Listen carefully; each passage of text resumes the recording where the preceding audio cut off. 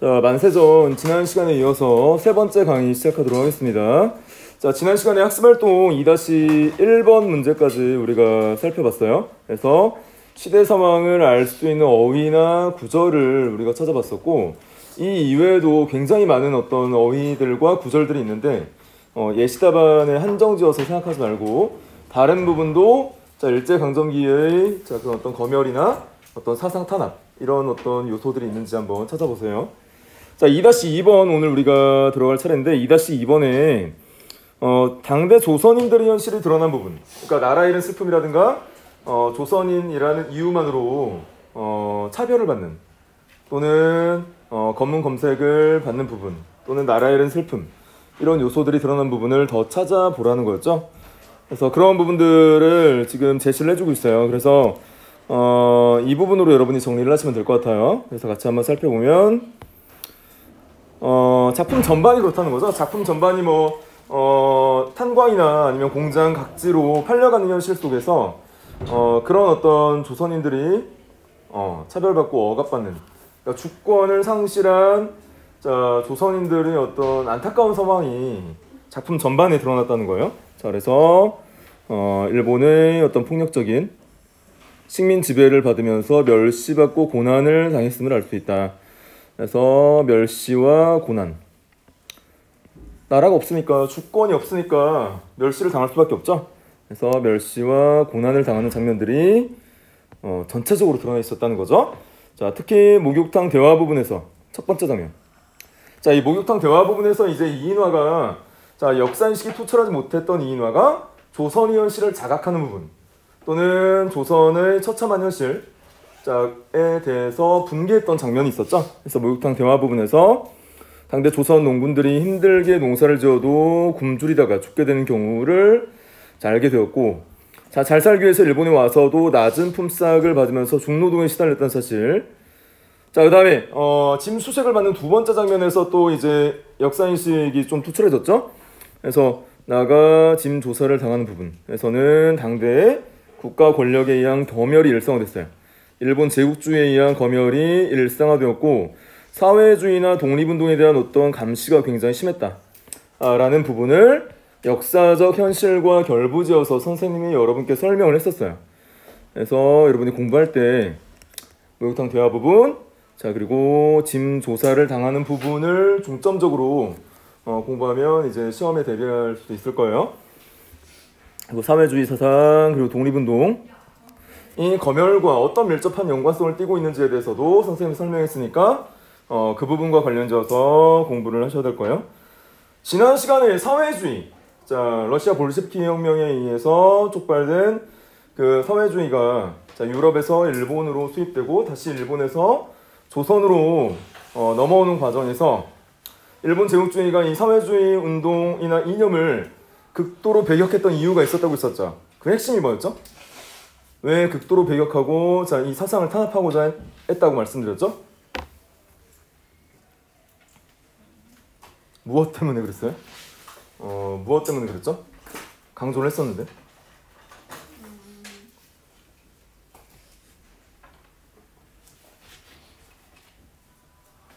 다 기억 안 나요? 어, 사회주의가 무엇을 기치로 내걸고 어, 그 이념이 전파되고 있었다고 했어요. 무엇을 목표로 삼아서? 어, 우리 자유민주 사회에서도 평등을 기치로 이겁니다. 어, 평등 그런 평등은 아니고 자 피지배자가 주인이 되는 세상. 그래서 자 지배자의 어떤 기존의 모든 권한과 기득권을 다 뺏어버리고 자 그것들을 자 대다수의 어떤 농군들이나 농민들에게 분배하자. 그래서 노동자와 농민이 주인이 되는 세상을 만들자. 그래서 피인 지배자의 어떤 혁명이에요. 그러니까 지배자였던 조선 총독, 조선 총독부죠 조선은 자 그래서 자 농군들이 우리 농민들이 몰아내고 자 일본 제국주의에 투쟁하는 독립운동 사상과 결합되어서 어, 조선에 대한 어떤 지배력을 상실할까 하는 어떤 우려. 자 그런 것들이 일본 제국주의 어떤 입장에서는 어, 두려운 부분이라고 있었죠? 그래서 그런 부분에 대한 사상 탄압이 1920, 30년대 굉장히 강화되었다. 어, 라는 역사적 부분을 지난 시간에 설명했었고 그 부분이 이 소설에서 굉장히 중요합니다. 자, 그래서 사회주의 독립운동 사상에 대한 어떤 감시와 탄압이 굉장히 심했다라는 것이 2-2번 어, 문제의 어, 또 중요한 부분이라고 볼 수 있어요. 자, 어, 2-3번 볼게요. 2-3번. 2-3번 넘어가도 될까요? 네. 2-3번. 자, 2-1-2번을 바탕으로 소설의 주제가 뭐냐? 자, 소설의 주제는 뭘 것 같아요? 어, 필자가 독자들에게 이 소설을 통해서 전달하고자 한 바가 뭔 것 같아요?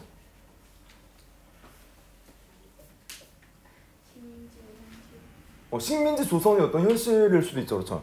어, 식민지 조선의 현실이 이렇게 어, 검열과 사상 탄압이 강화되어서 조선인이 굉장히 멸시를 받는 현실이었다. 이런 것들을 전달하고 있었죠. 또 어, 주된 메시지가 뭔 것 같아요? 자기 완성이. 어 그래 치열한 자기 반성. 아 내가 이런 어떤 어, 처참한 조선의 현실을 망각하고 일본 동경에서 시나 소설, 문학 따위나 공부하고 있었다니. 실제로 여러분이 우리가 배우고 있는 문학이 실생활에 직접적인 영향을 미치는 학문은 아니잖아요. 어, 그래서 교양을 쌓는 학문인데, 자 당시에는 주권을 상실당한, 국권을 피탈당한 상황 속에서, 상황 속에서 어, 문학을 공부하러 간다고 하면 굉장히 여유로운 집안, 어, 또는 현실을 어, 잊은 채 도피한다라는 생각까지 했습니다. 자 그래서 그런 어떤 부분들과 연관 짓는다면 어, 지금 우리 문학반장이 이야기했던 그런 어떤 현실 직시 부분 또는 현실을 깨닫는 부분으로 접근할 수 있겠죠. 자, 그래서 어 여기 나와 있네. 자, 그래서 예시다 보면 식민 지배의 어떤 폭력성, 자, 그리고 조선 농민들의 어떤 비참한 현실에 대한 증언 이런 어떤 부분들이 강하다는 거죠. 자, 어떤 폭력성, 그 다음 비참한 현실에 대한 자 독자들의 이해. 자, 이것에 초점을 두고 있고. 자, 두 번째 보니까 두 번째는 뭐라고 돼 있어요? 어, 자기 반성. 자, 식민지 현실에 대한 어떤 비판. 자, 직접적으로 비판하지 않지만 우회적으로 내가 이런 일을 겪었다라고 하면서 당시 일본 제국주의의 식민 지배의 부당성과 폭력성에 대한 어떤 비판이 이루어지고 있죠. 자, 그래서 그런 부분들이 어, 독자에게 전달하고자 하는 주된 메시지다. 어, 라고 볼수 있어요. 반성. 저는 식민 전실에 대한 어떤 비판. 자, 이런 부분들로 여러분이 정리를 하시면 될 것 같아요. 자, 그 다음 2달 3번. 음, 어, 지금 한 거죠? 넘어가도 되겠어요? 자, 3번 문제. 자, 이 소설의 주인공인 내가 목욕탕에서 무서운 이야기를 듣고 그 무서운 이야기가 뭐였어요? 그 무서운 이야기가 뭐였죠? 일본 각지 어떤 노동 현장으로 팔려가는 현실. 여러분 누가 돈 많이 준다고 하면 타국 땅에 가서 일하러 갈 생각 있어요? 예를 들어서 일본 애니메이션 회사에서 우리 어 야 한국 연봉이 다섯 배를 줄게. 근데 막상 가보니까 어 그 약속은 지켜지지 않고 한, 한국 연봉의 한 영, 반토막 2분의 1 정도 되면서 뭐 빚만 쌓여가는 구조이고 다시 한국으로 돌아갈 수 없게 만들었어요. 자 그러면 여러분은 그 상황에서 어, 감정 상태가 어떻겠어요? 처참해요. 어, 처참하죠. 어, 내가 한국 땅을 밟을 수 없다니. 어, 이러면서 당시도 마찬가지예요. 당시도 어, 그런 어떤 사탕 발림에 현혹되어서 갔는데 임금 많이 준다고 했는데 어, 낮은 임금과 그리고 식대와 기숙사 비용의 어떤 빚을 지면서 빚만 계속 불어나가는 구조예요. 그래서 조선으로 다시 돌아올 수 없었던 당시 조선 노동자들의 어떤 현실을 여러분이 생각하시면 돼요. 그래서 어, 여기서 무서운 이야기, 그런 무서운 이야기입니다. 자, 무서운 이야기를 듣고 배 안에서 시에 관한 생각이 바뀌었어요. 자, 원래 이인화는 이 시에 대한 어떤 사고방식을 갖고 있었다고 설명했었죠? 어, 너희들 그 어, 농민들이 농사를 짓는 것, 흙 냄새를 맡는 것 얼마나 아름다우냐. 어, 농사를 짓는 것이 시를 짓는 것이다라고 했잖아요. 그러니까 어떤 사고 방식을 갖고 있었다라고 말씀드렸죠? 어, 동떨어진 낭만적인 사고 방식. 어, 조선의 어떤 농민들은 먹고 살기 바빠서 어, 농사의 어떤 현실이 자 농사를 짓는 현실이 어떤 생존권이 걸린 문제라고 말씀드렸죠. 자 그런데 이만은 워낙 풍족한 집안에서 자라나고 자 유학까지 갈 정도였으니까 어, 농사를 짓는 과정에서 맡는 흙 냄새가 어, 굉장히 시적이다라고 어, 판단을 한 거예요. 자 그런 부분에 대한 인식이 개선되는 부분이 있었어요. 자, 그래서 시에 대한 그 생각의 변화가 있었어요. 자, 시에 대한 생각의 변화가 이렇게 이루어지고 있었죠. 자, 보면 어때요? 어, 나는 밭을 가는 것이 시라는 둥 흙을 예찬하죠. 그리고 가난한 놈이 비참한 현실과 동떨어진 시를 창작하고요. 뭐 시를 창작한다는 것이 나쁜 게 아니라 어떤 농민들의 현실을 인지하지 못했다는 거죠. 자, 무서운 이야기. 그러니까 배 안에서 선실 안에서 조선 노동자들이 일본 각지로 팔려나가는 이야기죠. 자, 이야기를 들은 후 실인생 실사회 이면이 이면. 아, 내가 알고 있던 이면이 진짜 이면이 아니라 어, 그 뒤에 또 다른 어떤 진실이 감추어져 있었다는 거예요. 자, 그 다음에 진상이 진상. 마찬가지죠? 아, 이게 진짜 현실의 어떤 진실인 줄 알았는데 그 뒤에 또 진짜 진실이 숨어 있었다는 거죠. 자, 진상이 진상. 과는 무관한 시는 좋은 아니다. 그러니까 현실과 동떨어진 그동안 창작했던 나의 낭만적 사고에 기반한 시는 좋은 시가 아니다라는 생각에 이르게 된 거예요.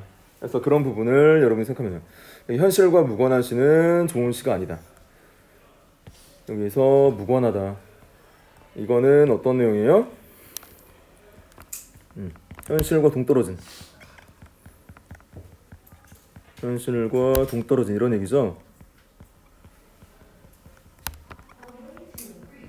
또는 현실과 괴리된.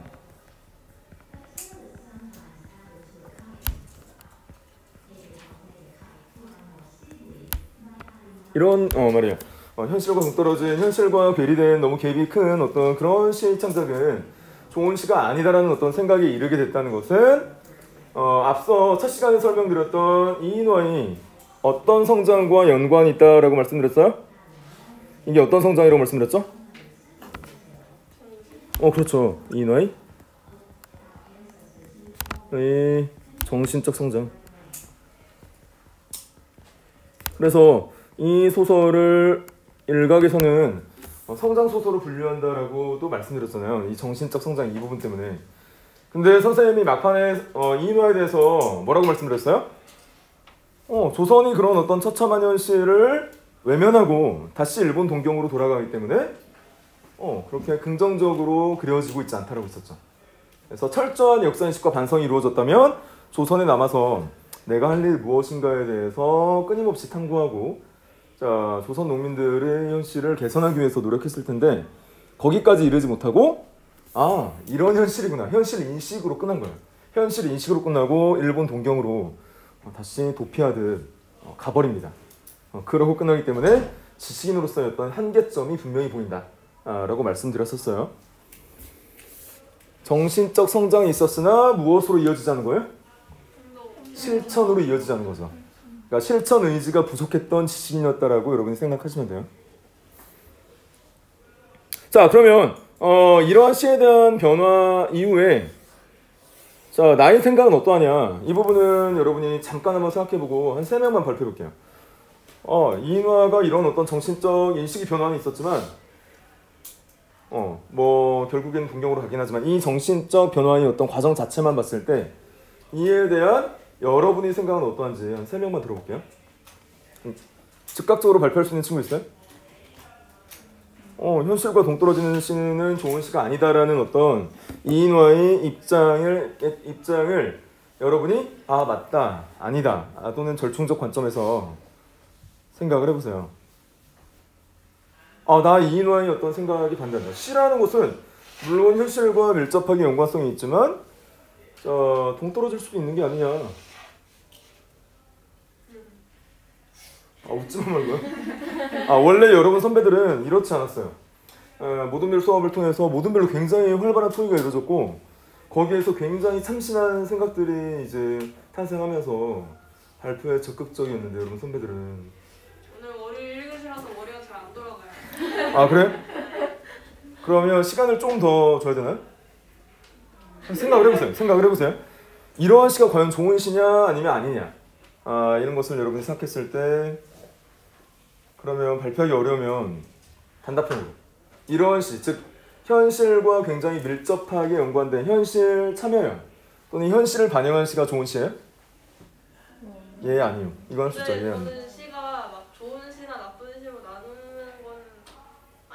오, 굉장히 제 3위 답변이죠. 선생님이 지금 이분법적으로 좋은 시냐 아니냐라고 묻는 것 자체가 오류라는 거죠.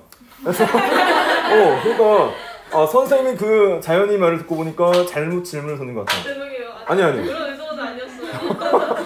아니 선생님 질문 잘못 던진 것 같아요. 왜냐하면 어, 어떤 시가 좋냐 아니냐로 나누는 것 자체가 무의미하고 어, 일단은 어, 좋은 시냐 아니냐를 어떤 기준에 의해서 판단할 것이냐 그 문제가 중요하다는 거죠 자연 입장에서는 그러면 어, 지금 이인화는 현실 인식에 이르렀잖아요. 자 그랬을 때 긍정적으로 평가할 수 있겠어요? 아니면 어, 뭐 문학이 굳이 현실을 꼭 반영해야 되느냐라는 생각을 갖고 있어요. 음, 굳이 반영 안 해도 돼. 굳이 반영하지 않아도 문학의 아름다움, 즉, 뭐 신비성만 갖추고 어, 나에게 어떤 시가 가져다주는 어떤 심리적 효과, 감수성만 키워준다면 좋은 게 아니냐. 어, 좋았어요. 어, 저, 그래? 그 뭐지? 굳이 현실을 반영하지 않아도 이 시를 읽음으로써 이 힘든 현실을 잠깐이라도 잊을 수 음. 있는 그렇게도 될 수도 있을 것 같아요. 어, 굳이 현실을 반영하지 않더라도 시의 감상을 통해서 힘든 어떤 이 사회의 현실을 잠시나마 잊을 수 있다면 그게 좋은 시가 아니냐. 어, 좋았어요. 힘든, 예. 반대로 생각하는 게 반대로 생각했어요. 네, 그, 그 뭐지? 그 시대 속에서 본인 스스로 할 수 있는 것은 없으니까 네. 차라리 지금 잡고 있는 시를 통해서 그 현실의 시대상을 알릴 수 있었으면 더 좋을 거라고 생각합니다. 그러니까 기능적인 측면에서 접근한 거죠. 효용적인 측면. 그러니까 시가 현실을 반영해서 그것을 독자들에게 전달하고 어, 현실은 잘 몰랐던 독자들이 아 우리 시대 현실이 이렇구나 라는 것을 충분히 인식할 수 있다면 그것이 문학이 지니고 있는 기능적인 또는 효용적인 측면이 아니냐. 어, 기, 어, 문학의 어떤 어, 효용론적 관점에서 아주 잘 어, 발표를 해줬어요. 어 좋아요.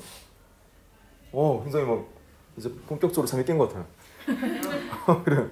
작가 개인한테 이제 자기가 썼던 시가 예전의 경험을 토대로 좀 비현실적인 거를 썼다면은 자기한테 의미가 있는 거겠지만 남들한테 영향력을 행사할 수 있는 시를 쓰는 것도 좀 긍정적인 변화를 줄 수 있으니까 그것도 긍정적으로 볼 수 있는 시가 아닐까. 어 그래요. 이 약간은 어, 절충적인 관점이죠.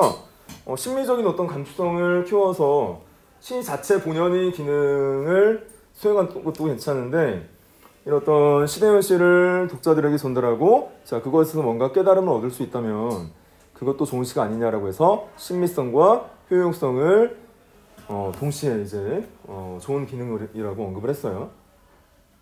자 또 뭐 자기 생각을 발표할 친구 있어요?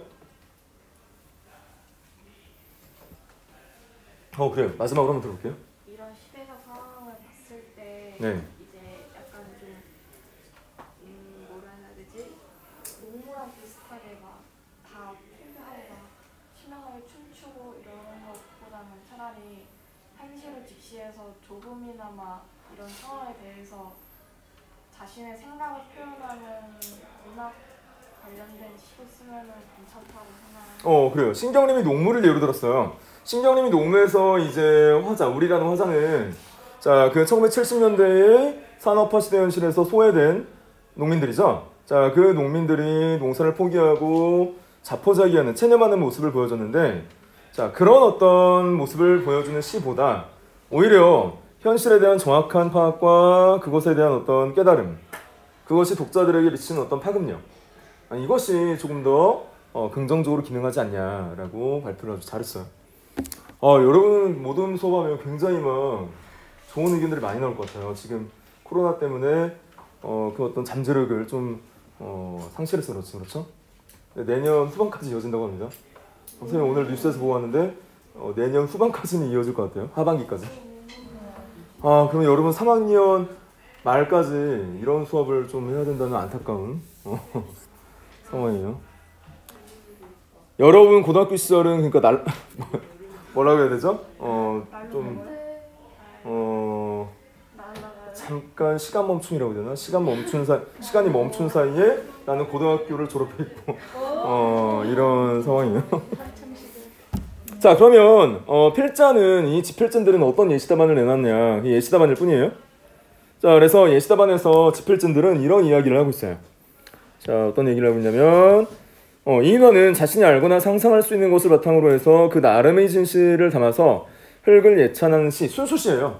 어, 자연에 대한 어떤 순수한 시를 썼을 텐데 어, 그것이 어떤 의도성이 있는 건 아니고 순수한 시인데 자 그랬다 할지라도 현실과 어, 동떨어졌다 할지라도 자신의 생각 자신의 생각이나 아니면 느낀 바를 진솔하게 표현했다면 어, 문학으로서의 어떤 어, 순기능 문학으로서의 어떤 순수한 기능을 수행한 것이다라고 판단하자 어, 충분히 의미가 있다라고 생각했어요 이거를 필기하라는 게 아니에요 여러분의 생각을 쓰면 돼요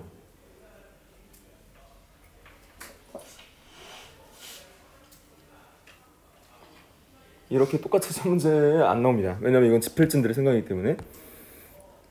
근데 여러분이 아까 발표했던 내용이 다 들어가 있어요. 이런 어떤 문학의 본래의 어떤 기능, 어, 심미성 향상이라든가 순수시를 통해서 자신이 어떤 감정을 표출하는 어, 그런 어떤 본래의 어떤 기능을 수행하는 것도 나쁘지 않다라는 거예요. 어, 시로서 시 자체만으로 봤을 때는 그래서 충분한 의미가 있다라고 판단합니다.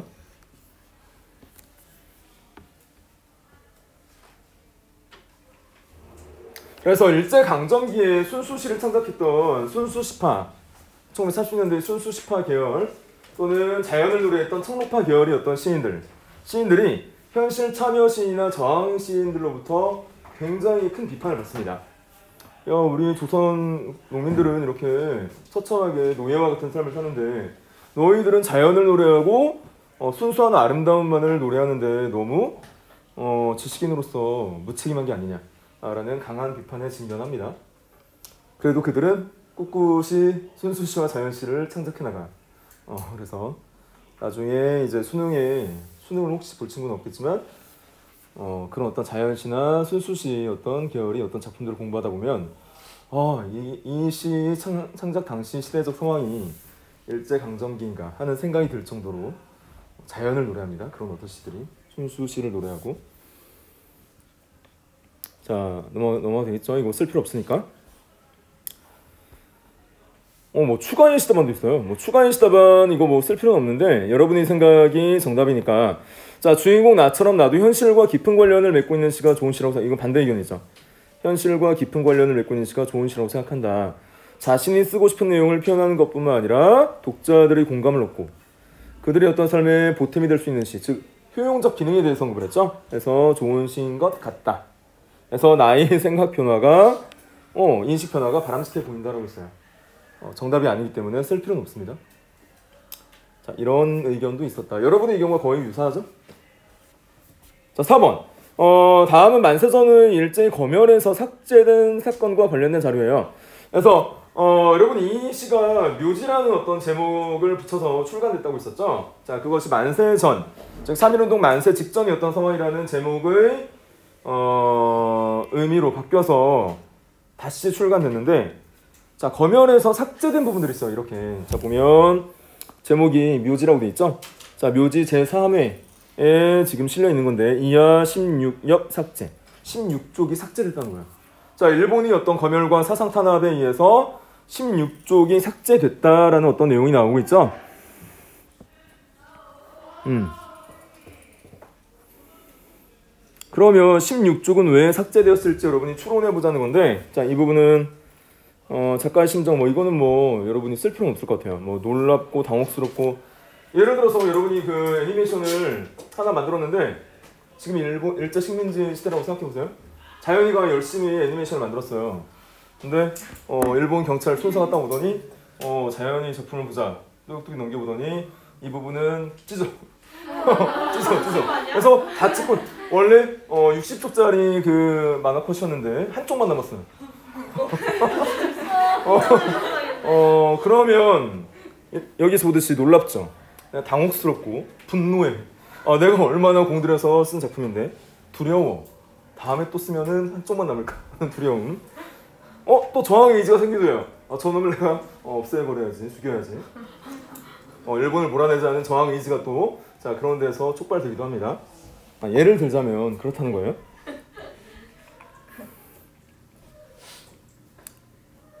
여러분 만화 창작하는데 굉장히 시간이 많이 걸리잖아요. 네. 한컷 한 컷 그리는데. 근데 검열 과정에서 대다수가 삭제됐다고 생각하면 분노가 치밀죠. 그렇죠? 자, 그래서 시대 상황과 관련져서 이야기를 해보자고 했어요. 그래서 어, 식민지 통치 세력의 입장에서 감추고 싶은 노동자 모집의 현실이라든가 어, 검문 과정의 구체적인 묘사 등을 통해서 식민 통치 폭력성을 사실적으로 적나라하게 폭로하고 있기 때문에 삭제가 된 거예요. 자, 배 선실 안에서 어, 강제 지용이 어떤 문제라든가 어, 또는 자신들이 부당한 어떤 검문 검색의 과정이 그대로 적나라하게 소설 속에 제시가 되어 있고 자 그것이 폭로가 되는 되기 직전의 상황이기 때문에 일본 당국으로서는 부담스러운 거죠. 지금도 자신들이 어떤 진실을 감추려고 하잖아. 자, 자 그런 상황에서 이 부분이 핵심이죠. 식민지 통치 폭력성을 사실적으로 적나라하게 폭로하고 있다. 자 이런 부분이 부담으로 작용했던 거죠.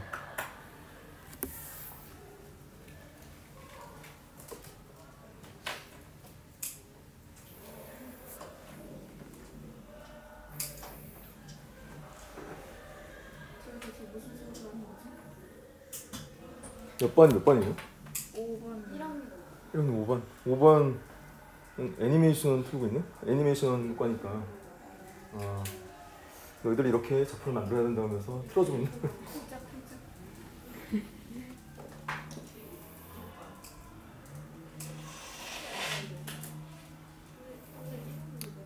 아, 선배들이 수업을 방해하고 있어요, 이거? 네.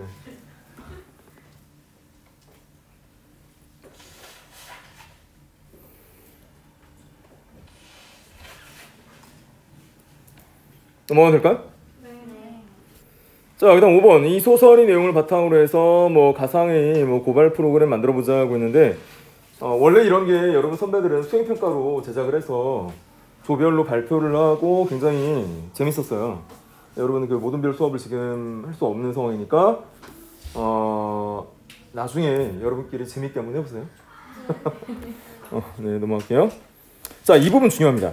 자, 감상이 뜰 부분에서 전반적인 어떤 시대적 상황과 왜 이인화가 그런 결정을 할 수밖에 없었는지에 대한 상황을 상황을 간략하게 제시를 해주고 있어요. 그래서 같이 한번 살펴볼까요? 자, 일단 이 부분을 보세요. 여기 경로 봐봐. 자, 동경에서 유학을 하고 있었는데 아내가 위독하다는 소식을 듣게 되죠. 그래서 동경에서 고베를 거쳐서 시모노세키에 와서 이 시모노세키에서 그 검문 검색이 이루어지는 상황이죠. 그래서 굉장히 그 모욕, 치욕을 받고 부산항에 도착을 하죠. 그래서 김천 형님 집에 들렸다가 다시 대전에 들렸다가 경성으로 오는 이 과정을 거치게 된다는 거죠. 네, 이 과정에서 우리가 다룬 부분은 어디라는 거예요? 어, 거기 한 부분만 지금 다루고 있으니까 여러분이 이제 책을 빌려서 읽게 되면 전체적인 내용을 다 파악을 할 수가 있어요. 자, 이렇게 갔다가 자, 뭐예요? 다시 역으로 돌아오는 과정이에요. 다시 역으로. 다시 대전, 뭐 김천, 뭐 부산, 시모노세키, 뭐 고베, 동경 이렇게 돌아오죠. 이런 어떤 소설의 구조를 뭐라고 했어요? 여로 여행을 간다. 자 경성을 목적지로 삼아, 삼았지만 다시 동경으로 돌아오자. 그래서 여로는 구조 또는 다시 돌아온다고 해서 회비형 구조라고 한다고 했죠. 여기 있네. 자 이 부분인데 이 부분을 문학 반장이 한번 읽어볼게요. 처음부터요? 네. 만세전은 일본에 유학 중인 식민지 지식 청년 나 이인화의 여로를 따라 펼쳐지는 여로 구조의 작품이다. 동경에서 서울로 왔다가 다시 동경으로 돌아가는 돌아가기 위해 서울역에서 기차를 기다리고 있는 데서 끝나는 여행에서 주인공은 많은 것을 겪으며 현실을 새롭게 알게 된다. 식민 지배 세력은 무다고 폭력적이며 많은 조선인은 순종적이며 무기력하다. 이처럼 전에 몰랐던 것을 알게 된 나의 마음은 환멸감으로 가득 차게 되는데 당대 조선 현실을 무덤팠다고 한 것은 이 같은 환멸감을 표현한 것이다. 그러나 다른 한편 나는 이 환멸의 여행을 통해 정신적으로 성장한다. 이 점에서 만세전은 정신의 성- 성장을 다른 소설이라 할 수 있다. 1920년대 이후 우리 소설은 주로 시대 상황을 사실적으로 그리는 경향을 보이게 되는데 그 앞머리에 만세전을 놓여있다. 어, 잘 읽었어요. 자, 여기서 구조가 중요하고요. 자, 원점 회귀형이라고 돼- 제시가 돼 있죠? 원점 회귀형 구조 또는 회귀형 구조 어, 또는 열은 구조 이 구조가 중요하고요. 자, 그 다음에 뭐 무덤이라고 표현한 것은 첫 시간에 언급했듯이 조선에 내가 도착했더니 조선 현실 자체가 굉장히 죽은 사회, 죽어 있는 사회, 무력한 사회, 어, 일제히 지배를 받고 있는데 거기에 저항하기는커녕 순종하면서 순응하면서 살고 있는 자 조선 어떤 농민들이 어떤 상황을 지켜보면서 어 지식인 이인화도 어 무력해지는 거예요, 무기력해지는 거예요. 왜 무기력해진다고 했죠? 내가 할 수 있는 게 하나도 없잖아. 자, 내가 어떤 행동을 취한다고 해서 현재의 어떤 식민 지배의 현실이 엎어지거나 일본이 뭐 어, 물러난다거나 하는 상황이 아니니까 굉장히 지식인으로서 무력감을 또 느낍니다. 자, 여기서는 뭐 환멸감이라고 표현했어요. 그래서 환멸감. 자, 정신의 성장을 다룬 소설이다. 다 말씀을 드렸던 부분인데 어, 현실 도피적 측면도 보이기 때문에 어, 아주 긍정적으로 묘사되지는 않는다라고 말씀드렸어요. 자 이렇게 해서 작품이 마무리가 됐고요. 어, 다음 작품으로 우리가 어떤 작품을 다루게 될지 한번 교과서를 보고 선생님이 결정하도록 할게요. 여러분이 다 다룰 수는 없으니까.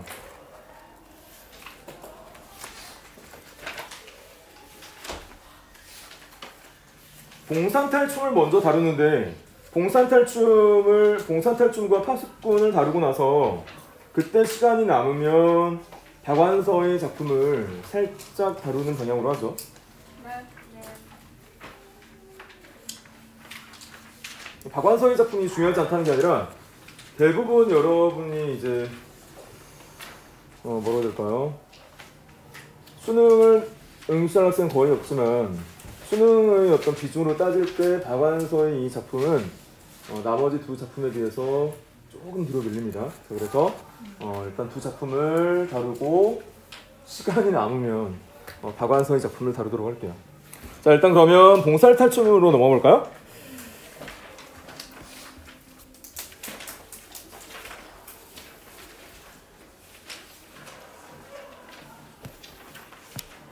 이 봉산탈춤을 본격적으로 들어가기 앞서서 여러분이 이제 뭐 시간 예술부이기 때문에 뭐 7, 8반 공연 예술과와 달리 이 부분에 대한 이해가 부족할 것이라고 생각을 하지만 중학교 교과서에 수록이 되어 있기 때문에 배운 학생이 있을 거예요. 봉산탈춤 배워본 사람 중학교에서 봉산탈춤 어한 명 있어요. 어한 명, 한 명 정도 학교에서 어느 지역 학교였죠? 어 대전, 어, 대전에서 배우고 왔어요. 봉산 탈춤이라고 했을 때 여러분 탈춤이라고 했을 때 어? 저거는 어떤 장르이다라는 생각이 딱 들어요? 어, 탈춤이다라고 했을 때 어떤 장르이다라는 생각이 딱 들어요? 굉장히 여러분 후배들이 어, 재밌는 수업을 하고 있어요 지금 탈춤이다라고 했을 때 일단 아무런 지식이 없는 상황에서 탈을 쓰고 춤을 춘다라는 생각이 들잖아요 아 뭔가 탈을 쓰고 춤을 출 것이다 공연을 할 것이다 라는 생각이 들 거고 봉산이라는 것은 지역 명칭입니다 황해도 봉산 지역이에요 아, 황해도 봉산 지역에서 탈을 추고 쓴 춤 또는 공연 행위이다 아, 라고 생각이 들 거예요 그래서 어, 여기 여러 탈들이 앞에 제시가 되어 있는데 일단 어, 여러분이 봉산 탈춤에 들어가기 앞서서 연행 장면을 한번 보는 게 나아요? 아니면 바로 들어가는 게 나아요? 바로 들어가나 다 배우고 나서 보는 게 나아요? 아 살짝 보는 게 좋아요? 어 그래요.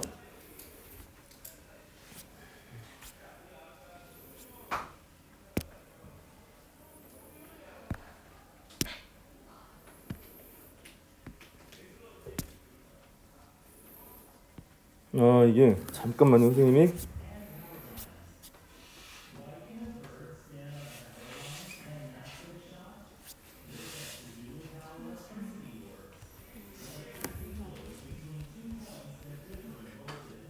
탈춤 우리가 이게 육과장일 거야 맞죠?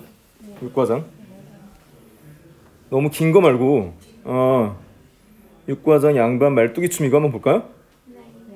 너무 긴가? 아니요. 짧은 거, 어, 이거 아래, 아래 거 7분 거 볼까요? 19분짜리 봐요.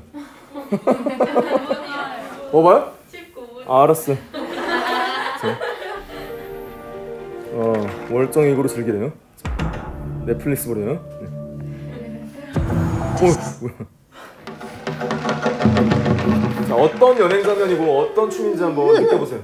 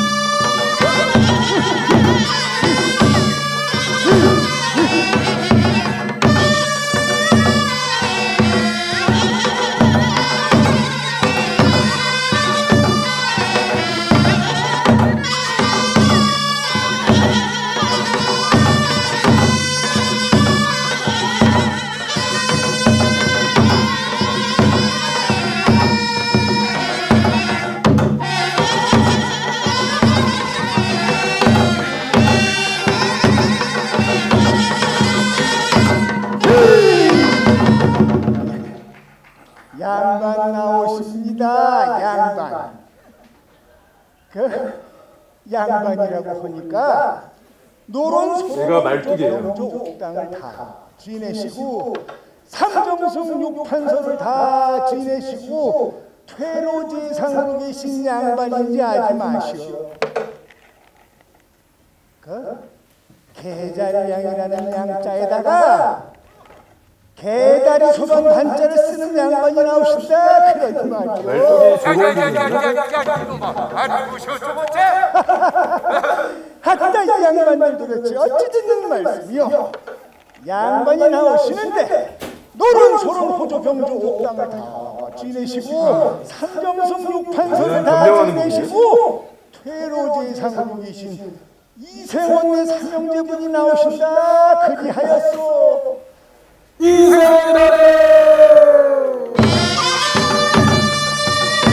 자, 이렇게 춤을 시작과 춤을 끝에 어, 노래가 나오면서 한 장면이 끝나요.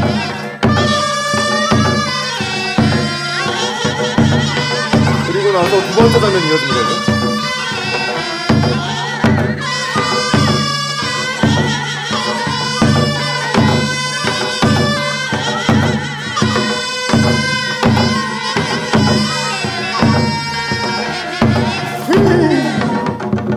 여보 아공님들 참 긴 시간 아주 고생이 많소. 그 옥육률 다 버리고 저기 저 버드나무 훌뚝이 뜯어다 버리고 이 바가지 장난 좀 쳐줘. 아따 이 양반들 도대체 어찌 듣는 말씀이요? 용두해금 북장고 필이 졌대. 조롱과 변명이 반복되고 있죠? 어, 정과 그에 대한 변명이 반복이 되고 있어요. 장면마다. 아안 늘어지게 치라래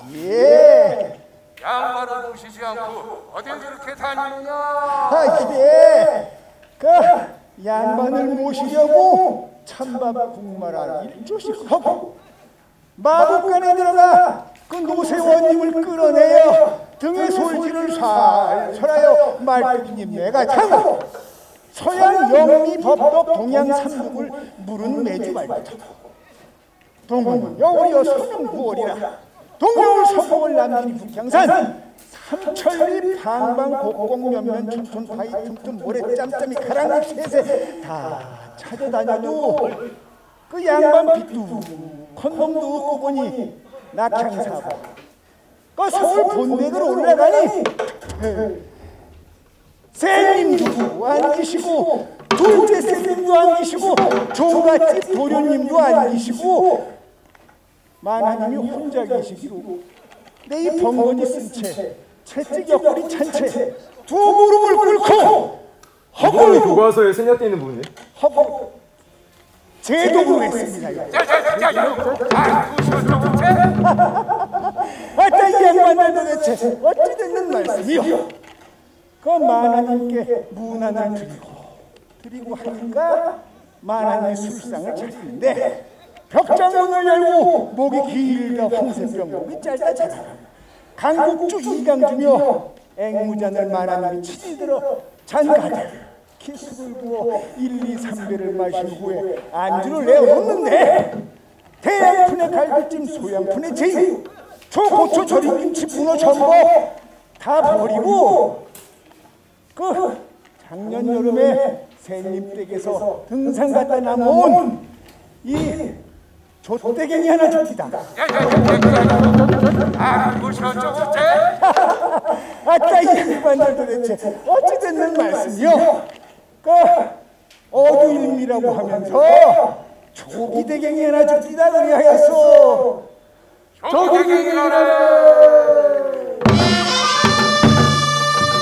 이런 어떤 장면이 계속 연속이 돼요. 한 과정 내에서.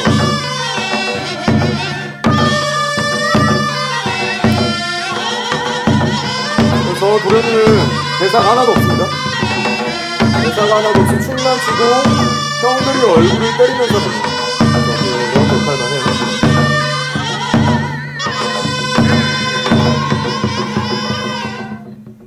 야 이건 말투가 아이고 말투가 아이고 말투가 예예예예.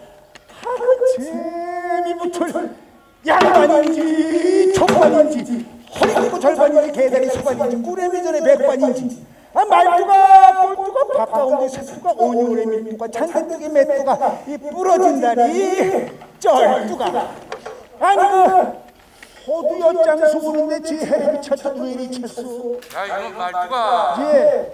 양반을 모시고 나왔으면은 세척방을 좋아하는 것이 아니고 어디 그렇게 다니느냐? 여기는 교과서 있어요? 그 세처방이시오? 아 세처방 다 적어놨습니다. 털을 그저 이마마. 그자고 이 참나무 울장을 드문 드문 드문 드문 드문 드문이 꽂고. 기술하자 드문하게 되고 문을 저기저 하늘로 낸 세처방을 잡아놨습니다. 아이고 저쪽 쟤 아니 우리가 돼지란 말이냐 이 양반들 도대체 어찌 됐는 말씀이요? 저자오양의 틀을 잡고 난난 팔자로 오른감과 입구자로 집을 짓대 호박주초에 사나니 등에 비치 연목에 금파두리를 걸고 입구자로 풀어짓고 올려다 보니 천판자여 내려다 보니 장판방이 화문석 지있다 펴고 부벽서를 펴라 보니 동편에 붙은 것은 단방명정 네 글자가 분명하고 서편을 바라보니 백인양종 유태화가 관연히 붙어있고 남편을 바라보니 이는 예지가 북편을 바라보니 효자 충실이 분명하니 이는 가히 양만의 세처방이 일만하고 문방제구 몰적시면 옹장공장 비듯이 자기 한 번 반다지 새별 같은 논류가 노대에 맞춰서 여기 놓고 양치를 간장 자문죽을 이리 저리 맞춰놓고 그 살털 같은 칼담배를 저기 저 평양 동푸르 선창 돼지 똥물에다. 그저 축축 기축해놨습니다. 아이고 저쪽 쟤이 양반들 어찌 된 말씀이요? 새털 같은 담배를 꿀물에다 치워놨다 그리하였소. 꿀물에